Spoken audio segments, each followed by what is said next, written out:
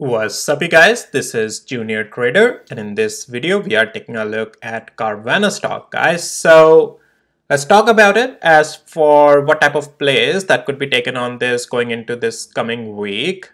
And this could be intraday and swing play as well. Um, and then I'll also talk about what happened after the earnings and what Carvana has been doing since then.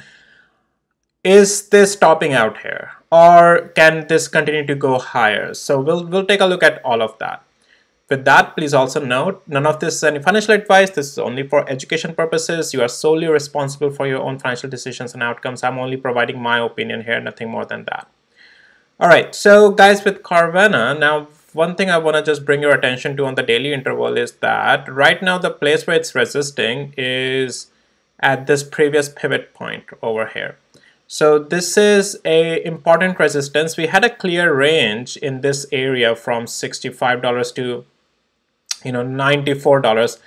In one of my videos I did talk about we have a potential on Carvana to keep running up to almost uh, uh close to $100 and based off of our you know resistance levels. So we have gotten quite a good move here. So this was the earnings, you know, uh, gap up, even though earnings weren't, weren't great, but I did say that guys this is still just a buy after earnings. We always we usually receive a follow through in that direction and we have been getting that.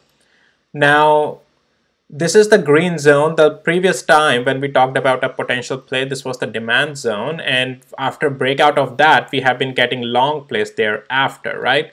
So things have been looking great since then as well. So let me go to the hourly interval and you can see a couple of lines back from that time right and we have been getting those uh, the the long plays there.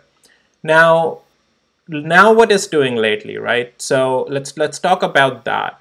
So lately we have broken a trend line uh, which is right over here this one. Now you can take this as a either 50 hours moving average also it has broken and all of that and you can see it then had a had an overhead resistance as well and it sold off that particular day. Now what I expect from Carvana, and this is mostly intraday play, that any rebound that comes on it can be shorted as long as it's not getting above $90. This is only an intraday play like for Monday. So if it tries to rebound, it's a short play. And if it continues to fall from here, it's it has a room to come down to 200 hours moving average and tests over here. So that is at $83 almost, so $84, right?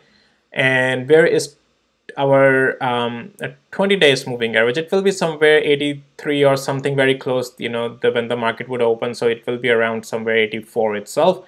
So that's where it has a room to do another leg down actually. Intraday short play can be traded on Carvana in my opinion for the um, yeah for this rebound and short play and even if it doesn't rebound stays here it's still a short play intraday now swing short will again, now there's a difference between here in the swing short and intraday short. I just showed you this is where the 20 days moving average would be, right? So if we lose both 200 hours and 20 days moving average, and now we're gonna lose them both at the same time, almost, right? If we lose both of them, then yes, we can start to look some more downside, maybe to the level of $76.17. Otherwise, if we see a confirmation of support at those levels with 20 and 200, sorry, 20 days moving average and 200 hours moving average, and we find support at 84, then you have to see a break of structure and break of pattern. Let me just real quick something on my indicator here. And also guys, if you need access to my tools, links are in the description below of this video. All right, let's go high here. It's a little bit in high volatile stock. I would more focus on the structural change if Carvana, well, as if it again continues to fall here, and if it then gets above $85, and it depends where it forms the pivot, right? Just watch this 20 hours moving average on the way down.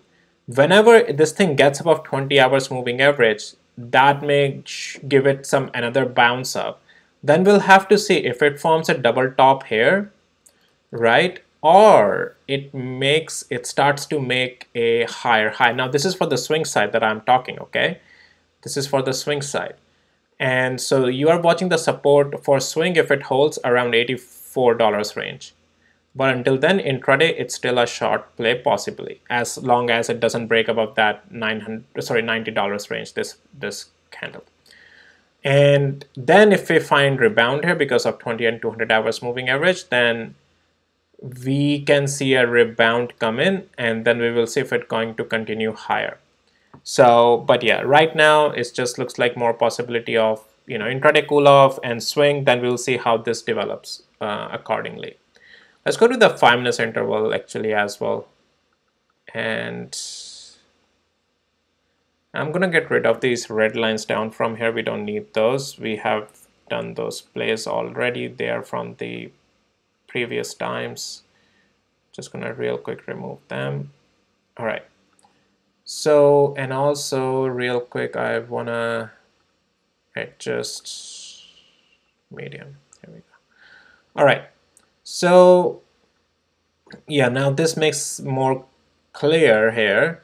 So on five minutes, you know, um, any rebound, as I said, it's still a rejection. It's still a short play, in my opinion, even until the level of 89 $90, pretty much the area. But I said, and as I said, right now, if, and that's where it will, you know, right now looks like it's going to head lower to that 20 and 200 moving average area.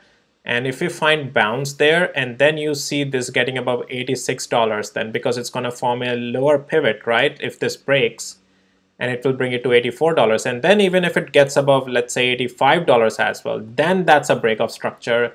Then going into Tuesday and Wednesday this might become an upside play. So you get my point right? Monday is one-sided Monday looks like a short play as long as that rebound level holds and that could be shorted if level breaks definitely we need to have a stop loss and then this will become a long play that day itself but then if we break lower and then we regain this $85 again, then Tuesday going into Tuesday and Wednesday, this might go a little bit up here. So that's that with Carvana. Okay, guys, that's all. Easy peasy, very simple. It's right now just at that one of the supply zone resistance level. Um, so we will see how what it does there. And yeah, the current demand zone, if it holds $84, otherwise this will turn into supply zone and we might see more downside. But more so swing downside will more come into play from Tuesday, Wednesday if the confirmation holds. And then uh, the long um, the long swing play is just not there in my opinion right now. Not even swing, not even intraday long in my opinion right now. That may take a while. Okay, that's all for this video, guys. Um, if you found it helpful, valuable, hit the like, subscribe, and I'll see you in my next videos. Take care. Bye.